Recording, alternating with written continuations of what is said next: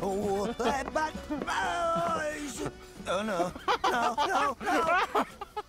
Oh, oh, oh, oh, oh, no, I can't. Oh, no, put me Well, look who's down. I ain't back. I'm gone on the next train to the Great White Way. Really? You got enough for a ticket? Pah. Because the way Big Fanny tells it, you spent all of our takings on a case of the French pox. Maybe I did. So what?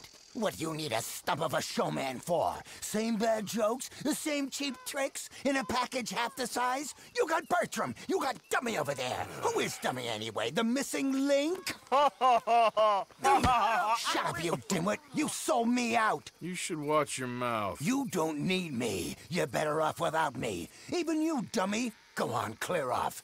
Aim for the top, all of you.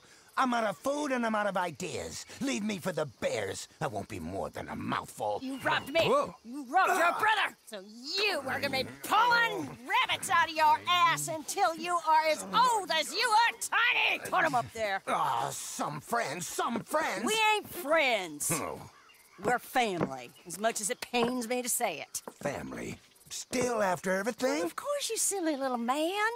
And him? Let him at the bar agree to help. Ah, sleeping rough don't suit me much. I know. Come to Mama. Oh, I did miss you. Now, don't you ever run off on us like that again. Back together! Back together! I'm glad it all worked out.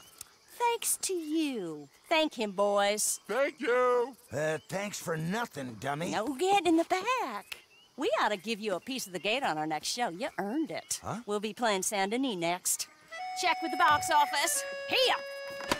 No one said anything about splitting the gate. Oh, shut up. Half man and half wit. Bye bye! What I done to deserve you two?